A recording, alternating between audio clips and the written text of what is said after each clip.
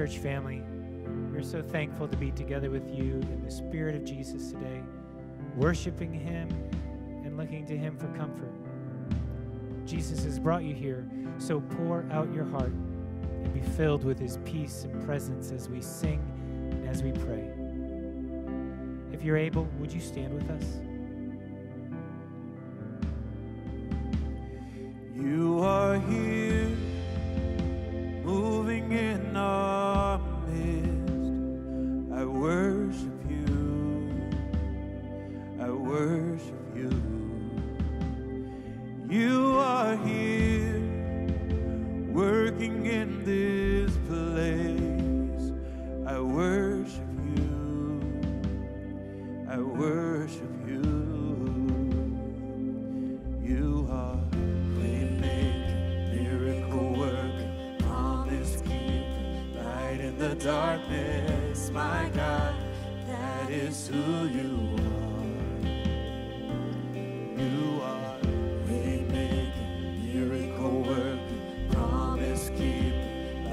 the darkness, my God, that is who you are.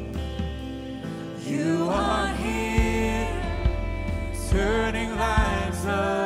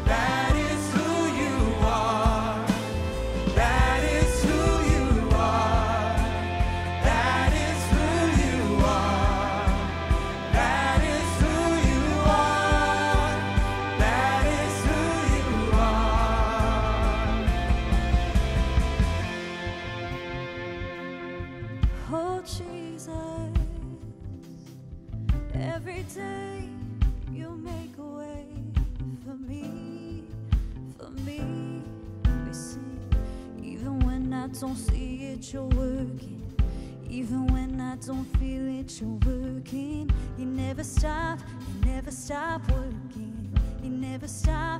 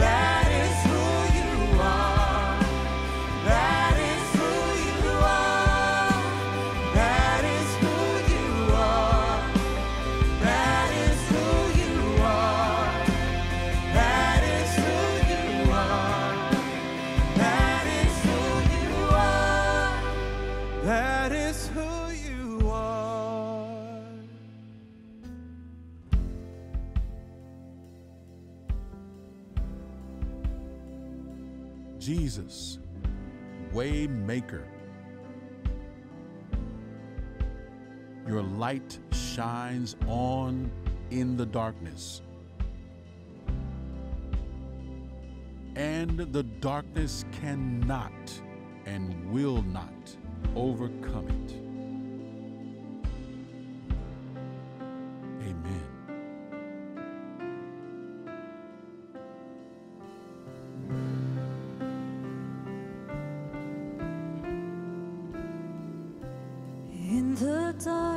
We were waiting without hope, without light, till from heaven you came running.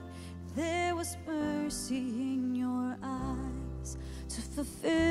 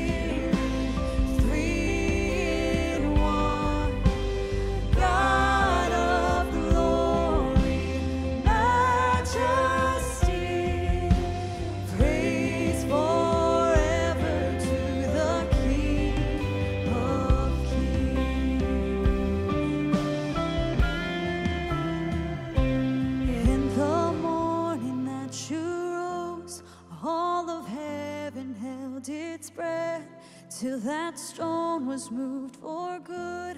For the Lamb had conquered death, and the dead rose from their tombs, and the angels stood in awe. For the souls of all who'd come to the Father are restored. And the church of Christ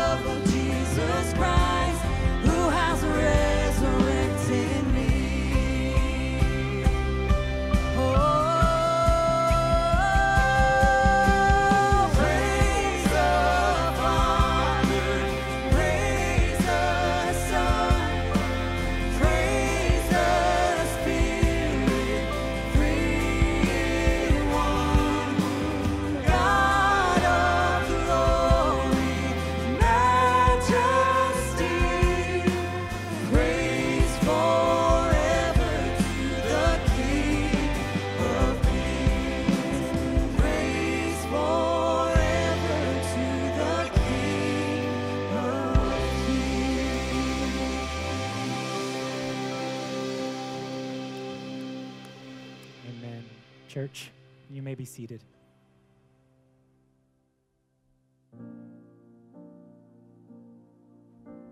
Let us be still and rest in God's word to us from the Gospel of Matthew.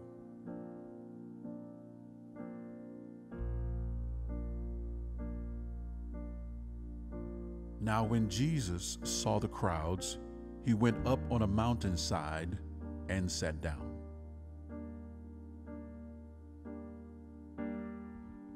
his disciples came to him, and he began to teach them.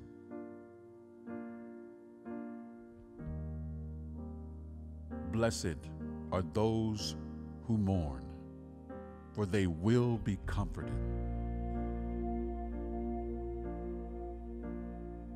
This is the word of the Lord.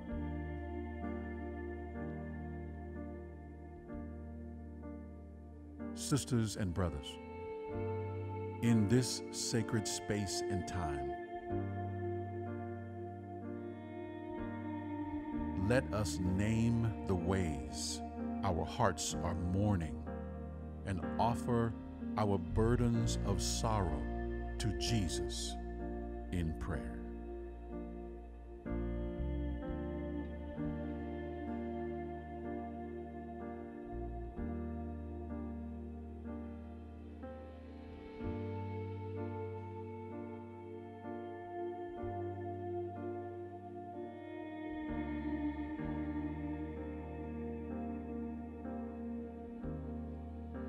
Let us now ask Jesus to experience his compassionate presence in our mourning, that we may rest deeply in his comforting embrace.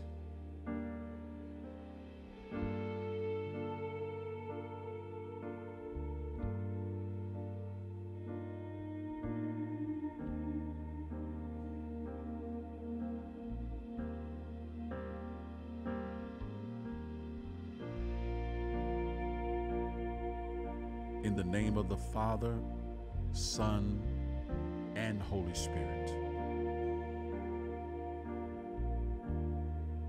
Amen.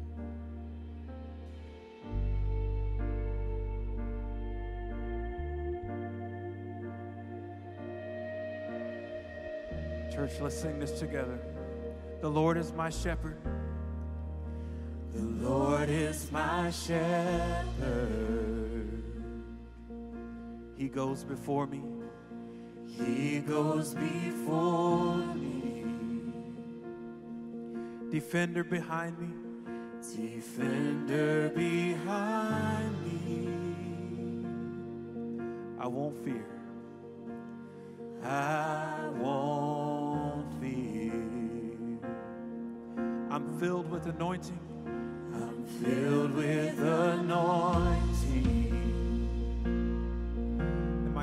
Cup's overflowing.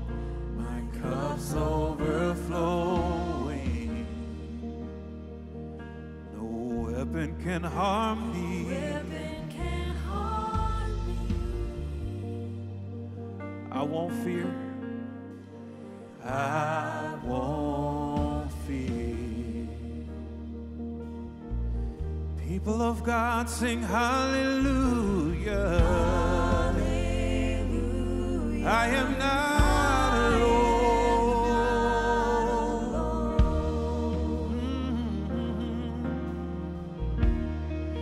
For he's my comfort. He's my comfort. And he always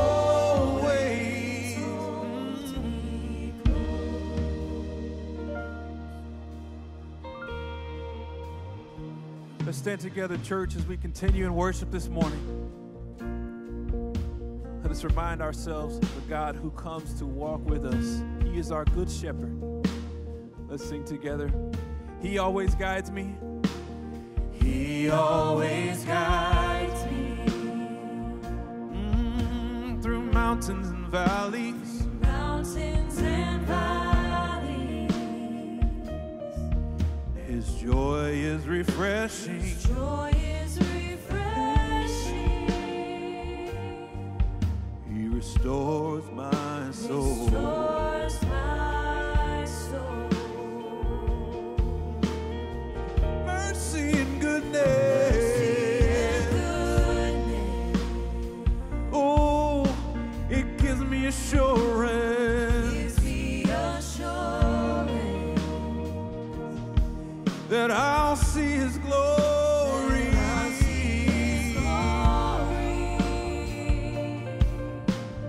We'll see His glory face to face. to face.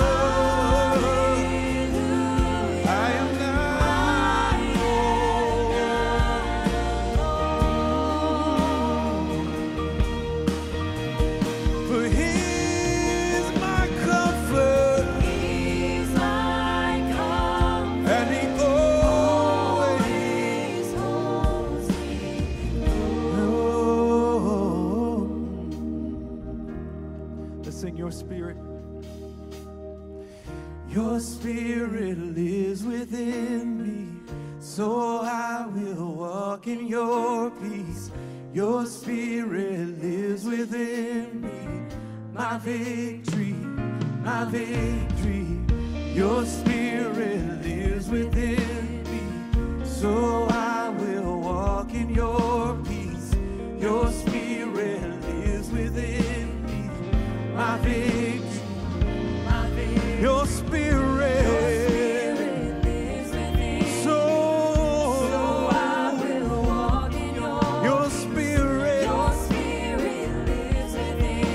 it's my victory, my victory. Your spirit, so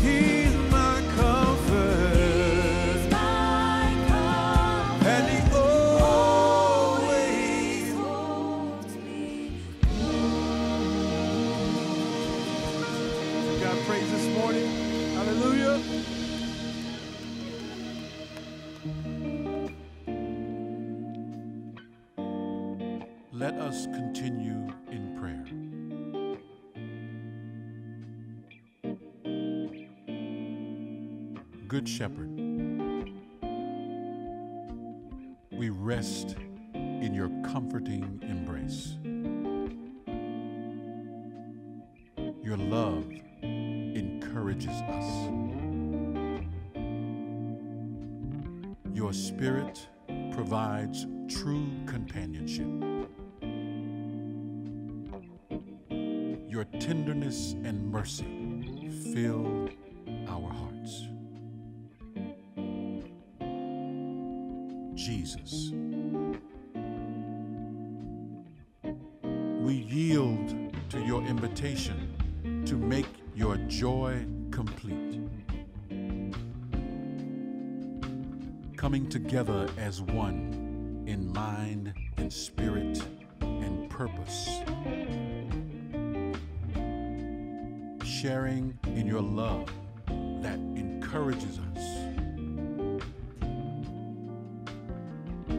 May we embrace true humility, lifting our heads to extend love to others.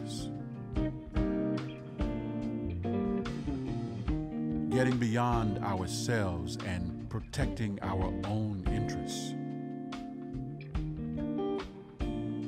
Being sincere and securing our neighbor's interests first.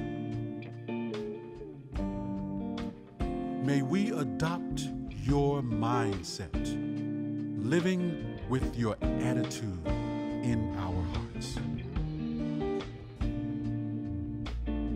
Let the church pray. Jesus, King of Kings, may we walk in your light, loving our sisters and brothers, that your light might shine out through us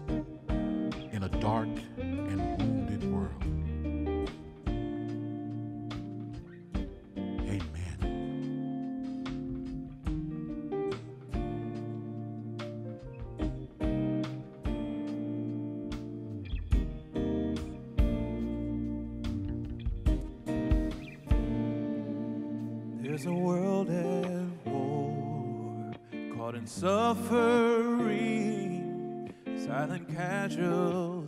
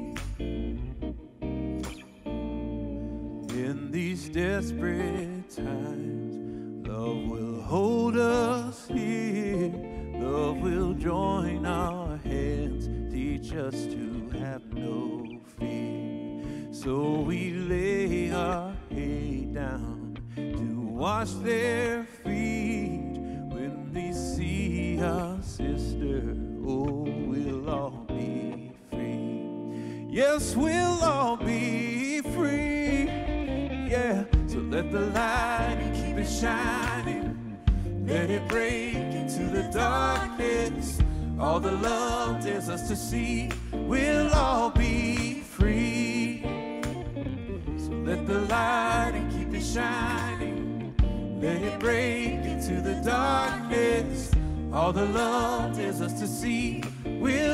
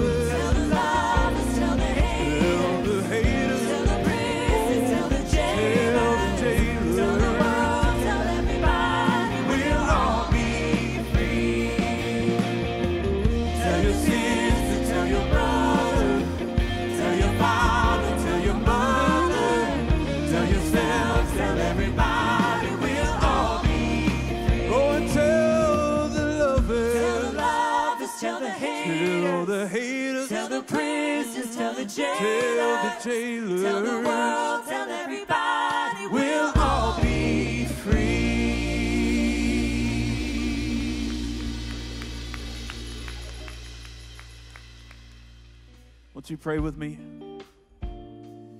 Father in heaven, Lord, you are God of all comfort, God of all truth, God of all wisdom, Lord. And we pray today that you humble our hearts to believe that this is true because you said it in your word, and your word will not return void. Father, today I pray that you humble our hearts that we might love our neighbors just as you have loved us, Father. And Lord, may we see your life as more than anything we can have and anything we can hold in this world. We thank you. In Jesus' name we pray. Amen. Please be seated.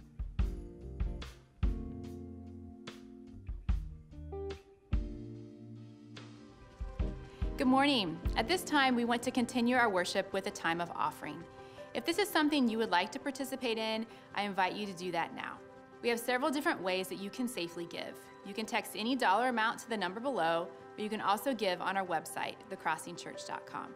If you're in person today, we have secure offering towers that you can drop an offering in when you exit the auditorium. If you're new this morning, I want to welcome you and let you know that we're really glad that you're here. We have lots to offer beyond our Sunday morning services, and now's a great time to join one of these classes and groups. First, we have spring classes that are open to everyone, including Managing the Mess of Marriage, Financial Peace University, and our Discovery class. Also, a variety of Crossing Women's classes are available as well, but today is the last day to register, so make sure you check those out and sign up. There are a variety of both in person and online options on various days and evenings throughout the week, including some with childcare provided. If you're in your 20s and you want to connect with others in the same stage of life, we invite you to attend a small group preview. At the event, you'll learn what small groups are all about and how you can be a part of a fun group that meets regularly to learn from the Bible together, and in the process, develop meaningful and long lasting friendships. If you'd like to join a Crossing 20s group, attending the small group preview event is required, but they make it easy by providing dinner and childcare for the evening. If you'd like to read all of the details or register for any of these classes, you can text the word info to 65201 to receive the link now, or you can also visit the events page on our website. One last way I want to encourage you to get connected and fill a really important need is to volunteer in Crossing Kids. On your own, you might not always feel significant or that you're making a difference. But when you join the Crossing Kids team, you'll see how you make a big difference in the kids' lives and the life of this church. When you volunteer, you help kids develop lifelong relationships with Jesus, and you'll find yourself developing lasting relationships as well. To get started serving on the Crossing Kids team, you can text the word info to 65201 or also visit the events page on our website. With so many opportunities to get involved beyond Sunday morning services, I encourage you to take a step and connect in community and find encouragement from others within our church.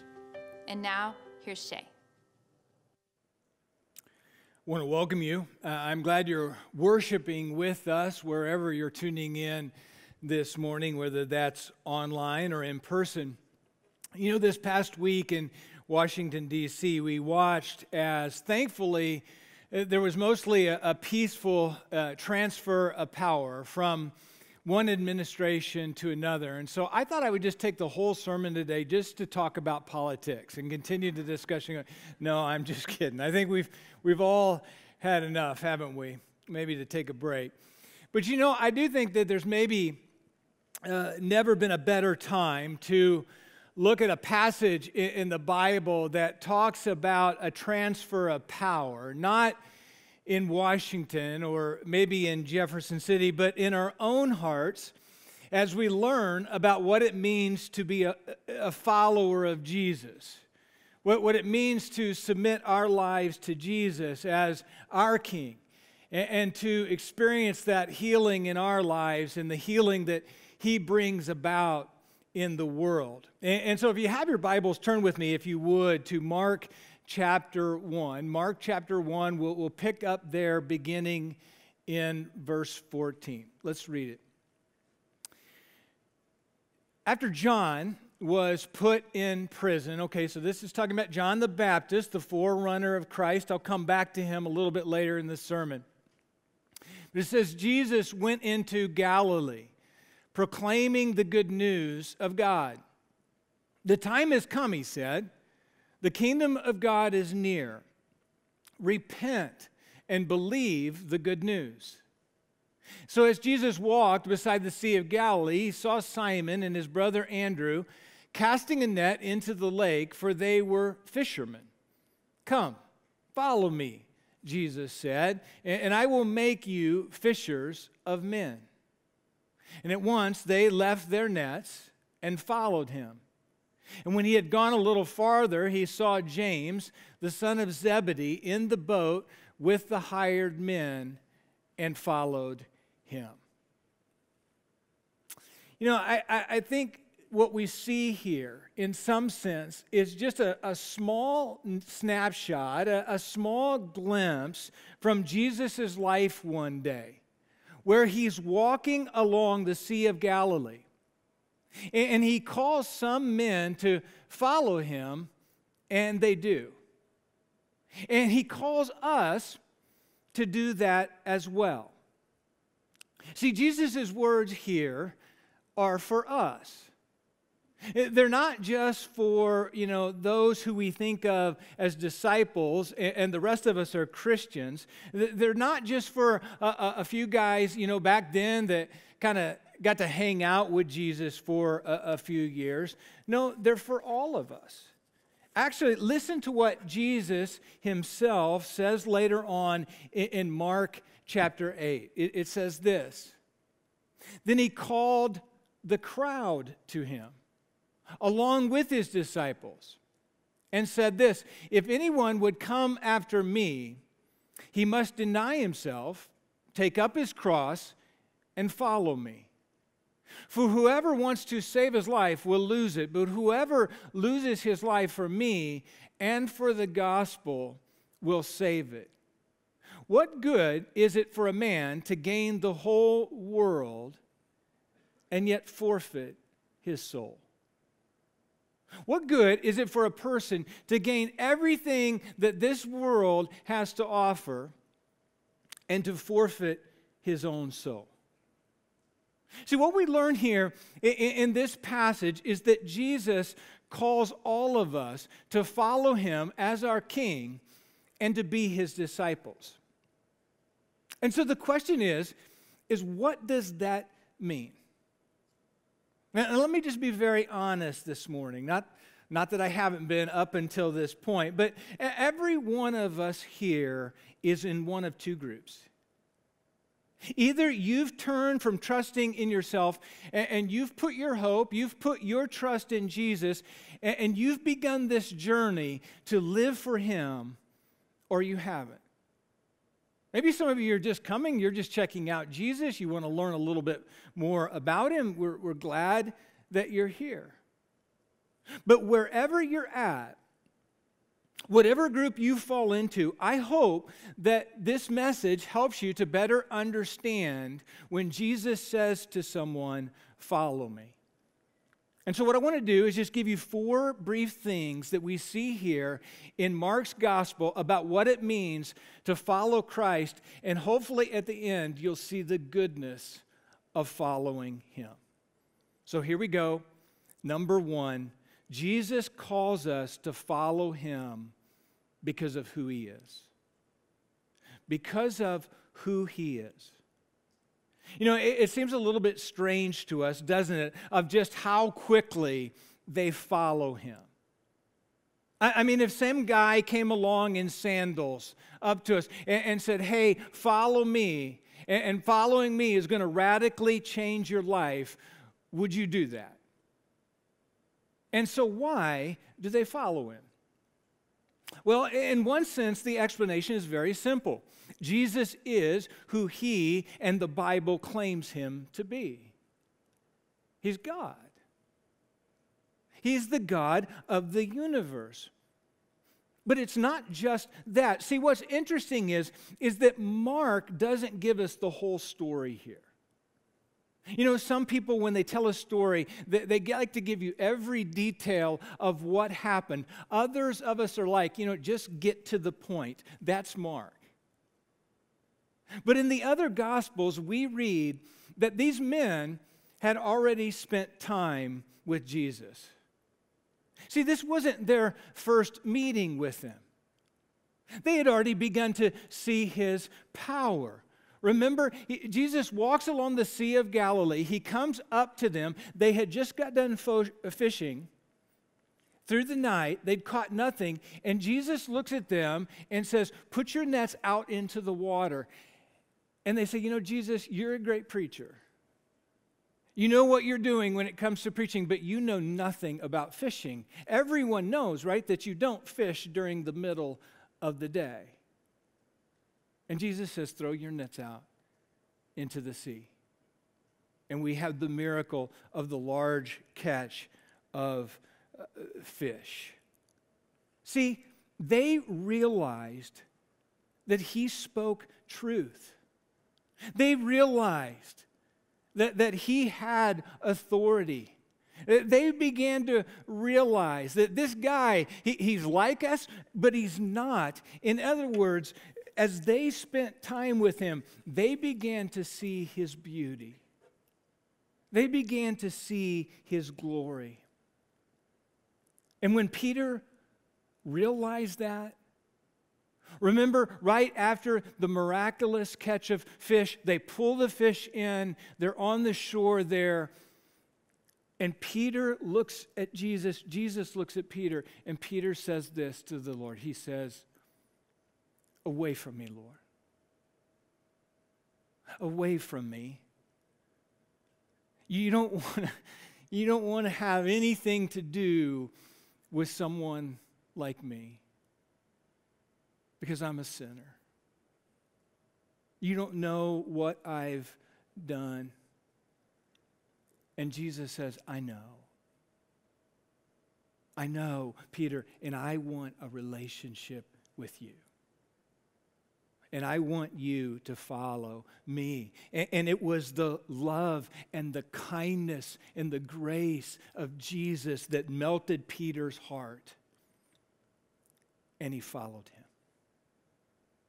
Later on, the other disciples realize the same thing about their own hearts. They, they realized the same thing about their own sin. Remember at, at the Last Supper, Jesus says to them, One of you is going to betray me. And what's interesting is that none of them pointed to Judas and, and going, I bet it's going to be Judas, right? None of them said that. None of them said, you know, Judas, he's following you, Jesus, as a political leader. He thinks that you're going to lead some sort of political revolution where you're going to overthrow the government. But yet, Jesus, you keep talking about dying and then rising again and that whole, that, that whole thing. And so when, when, when Judas realizes that this isn't a political revolution, he's going to sell you out. They don't say that, do they? No, what do they say? They look at the Lord and they say, Lord, is it me? Is it I? Am I the one that's going to betray you? See, they knew their hearts well. Do you know your heart like that? That good and evil runs through the heart of every man and woman, as Solzhenitsyn said. Well, if you do, won't you see that that's why Jesus came? Jesus came to die on a cross to save sinners, and he wants a relationship with you. No matter what you've done in life, no matter what you feel shame about, Jesus forgives sinners. See, what we read here in Mark isn't a blind faith of just kind of following Jesus without evidence. No, they were looking at the evidence. And so when Jesus says, Follow me, they do. Listen, here's my point. I kind of have several points within my first point. I, I get it, but, but I want you to catch this. The call to follow Jesus doesn't just come out of nowhere.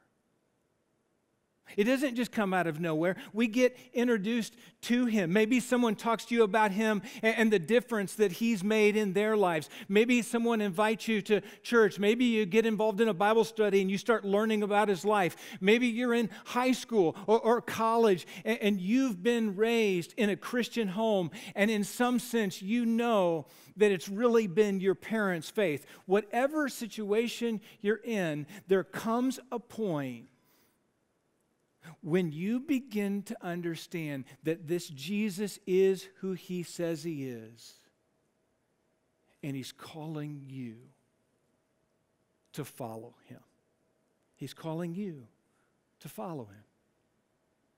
That's the first thing that I want you to see here. But the second thing, the second thing that Mark shows us is that following Jesus means investing our lives in something that is bigger than our lives. Following Jesus means investing our lives in something bigger than our lives. Look with me at, at verse 17. He, Jesus said to them, Follow me, and I will make you become fishers of men. See, Jesus says, I've, I've come preaching the good news uh, about the kingdom of God, and you enter into it by repenting and, and believing in me. And he says, likewise, you're going to get the privilege of pointing other people to me. See, he calls all of us to be a part of that. He calls all of us to be a part of influencing others for Christ to be a part of a process of God drawing people into a relationship with Himself and finding life. And so let me ask you are you thinking that way about your life? That, that, he's making you into fishers of men and women. That, that he wants to use you and, and, me in our spheres of influence with the people that he's sovereignly brought into our lives. With our coworkers, with our friends, even with our own kids, right? This is very convicting for me to say this, but I mean, as they look at your life, what do they see as the most important thing in your life? Is it Jesus? Or is it maybe other things that have kind of pushed him out? You know, you can't fool your kids. No matter how hard you try, they always notice. But you know, when I think that it comes to this whole idea of being fishers of men, we sometimes think it, it, it's either this right here, okay? Right? It's wearing Christian t shirts, and, and uh, I'm not going to knock this at all, okay? Because I know that probably after the service, someone is going to come up to me and say, I came to Christ because I saw that guy wearing that t shirt right there. But some of us think of evangelism, we, we think it's, it's just this right here, or maybe Unfortunately, some of us think that it's this. Too many of us maybe think that it's, that it's this right here. And as my good friend Scott Saul says, he's never met someone who was scolded into the kingdom of God. See, maybe the most important way we influence others is not by what we say, but how we say it, speaking truth with grace, and by what we wear. And by that, I mean, do we, as Paul says in Colossians, clothe ourselves with love and compassion and kindness and humility and good works and mercy towards those who don't know Christ? Jesus, remember when he looked at the crowds, he always rebuked the religious leaders, but when he looked at the crowds, he always had compassion on them. Because he saw that they were following after other gods that would never satisfy. He had mercy, he had compassion on people. He didn't just see people as just some enemy to be defeated. In some sort of political or cultural war? See, we're to speak and to live in such a way that others are attracted to Jesus. Jesus says that as we follow him, he will make us into fishers of men. But the third thing that we see here is that following Jesus means finding our identity and valuing him more than anything else in our lives. Notice that Jesus goes to Simon and, Andrew and he says, Follow me. And it says that they left their fishing nets and followed him. In other words, their jobs. And then he goes to James and John, and they left behind their family. They left behind their father Zebedee to follow him.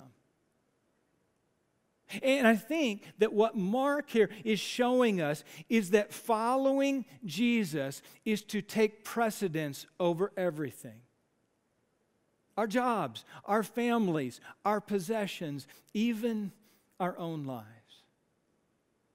In other words, he wants to be first. He wants us to find our identities in him and not in these other things that are so fleeting, right? See, uh, sometimes when we read this passage, I remember as a young Christian thinking, as I read this, well, then this, does this mean as a disciple of Christ that he's calling all of us to leave our jobs and our family and, and, and go to the mission field? Is that what the call of Jesus is in our lives? Well, I don't think so. Because we know that from reading the rest of the Gospels, these men did go back and fish again. They did go back to their jobs. And we also know that they did go back and have relationships with their family. In fact, right after this, if you continue to read in Mark, Simon and Andrew, they go to Capernaum, they go to Peter or Simon's mother in law, and they take Jesus with them. They go to, there to care for her because she was sick. In other words, becoming a follower of Jesus, following Jesus helps you to even be a better son in law to your mother in law. Following Jesus helps you to be a better parent. Following Jesus helps you to be a, a, a better child, helps you to be a better citizen within society. See, see, Jesus says, loving me, finding your identity in me must become the number one priority in our lives. Everything else comes second. Everything else gets behind that. See, when Jesus says, Follow me, and we say this, I'll follow you as long as you bless me. Or I'll follow you as long as you give me good health. But as soon as my health goes, and I, I don't know, Jesus, I'm not so sure. I'll follow you as long as my career is successful, as long as my career turns out the way I think it should. I'll follow you as long as you give me that perfect little family. I'll follow you as long as the culture thinks highly of me. I'll follow you as long as the culture thinks highly of me. Well, whatever you fill in the blank with, can I just humbly suggest to you that in some sense, that's your real God? That's at the end of the day what you're really looking to to give you meaning and your identity. And I think Jesus is saying to us, I won't, I won't be a means to an end. Folks, listen. There is a cost to following Christ. I can't sugarcoat it for you. There is a cost to following Christ. Sometimes in the eyes of this world, right? Some of you with your families, you come to Christ and they reject you. Some of you in, your workplaces to become a Christian or to let them know that you're a Christian, they look down upon you. They think you're not very smart. They think somehow that you have some sort of blind faith. But we have to remember, right? John the Baptist is in prison as Jesus is speaking these words, right? Herod had thrown John the Baptist in prison, and, and, and, and, John had spoken truth to power. John had called Herod out, you see, for sleeping with his brother's wife, saying, Hey, Herod, that's not good. That doesn't lead to peace. And he ended up losing his life as a result. There is a cost to following Jesus. But if you think about it, there's a cost to following anything in life, right? You know, a, a few years ago, I can't help but think about uh, that little girl, Emma Burton, five years old, living in the state of Kansas. And at school one day, they had to celebrate the state of Kansas Day at school. Probably a short exercise, I would think. But uh, no, I'm just kidding. But, uh, but anyway, she, they, they placed a, a, a Jayhawk in front of her, and she was supposed to color the Jayhawk. And instead, she refused because she didn't like the Jayhawks, and so she took that and she threw it right there in the trash can. God bless that little girl. I just brings a tear to my eye. But what I want you to see is that her loyalty, in some sense, cost her. No, I'm not advocating that. You know, you need to mind your teachers. But, but what I want you to see is that there is a cost to following Jesus and aligning our lives with Him. You know, we stand up here and, we preach out of the Bible and we preach sermons. Sometimes we get to preach sermons about that God is love, right? Now, He's more than that.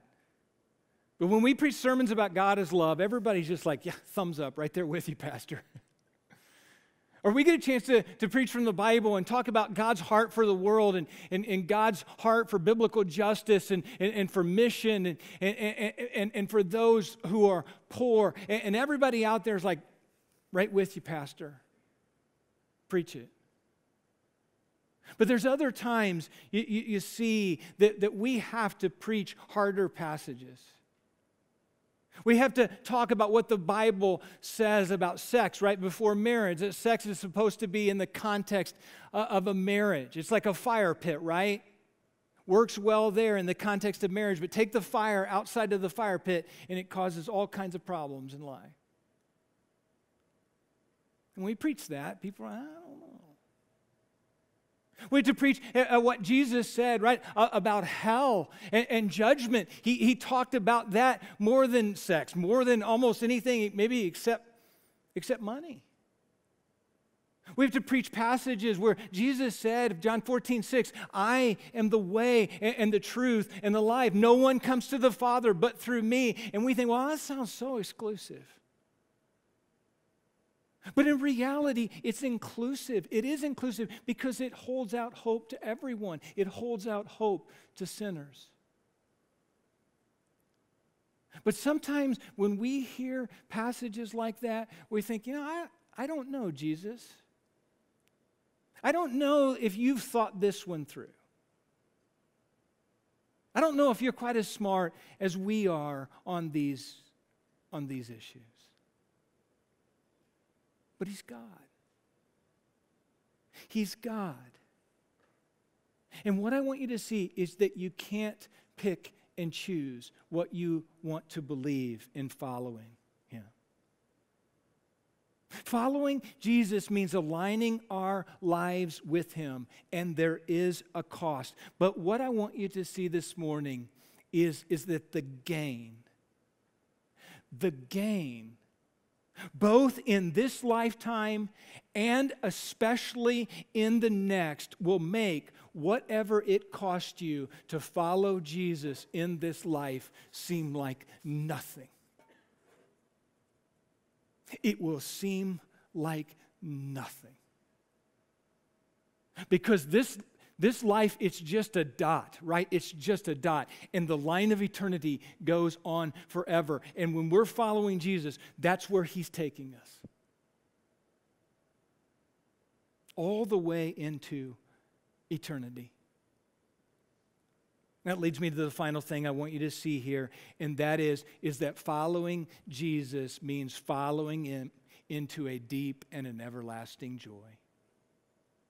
Following him into a deep and an everlasting joy. See, sometimes when we think of following Jesus, we think kind of too exclusively uh, of the cost. You know, we like to quote Dietrich Bonhoeffer's book, The Cost of Discipleship, and, and sometimes we like to think about what we have to give up to obey him. Like somehow Jesus is going to make our lives miserable. But that's not it. That's not the point. The main message of Jesus is not death, it's life. It's life. When Christ bids a man or a woman and calls them to come and follow him, he calls them to come and to live. Jesus said, I came that they might have life and have it abundantly. See, there is a joy. There is an unspeakable joy that comes into our lives when we follow Christ. By God's grace, I want to believe that more and more. By God's grace, I want you to believe that as a church. Following Christ is worth it. And so the question this morning is very simple are you following Him? Are you aligning your life with Him? Are you obeying Him? If not, won't you let the love of Jesus won't you let the kindness of Jesus dying on a cross for you and your sins melt your heart and see his kindness, see his goodness, and see that following the resurrected Christ is worth it? Would you pray with me?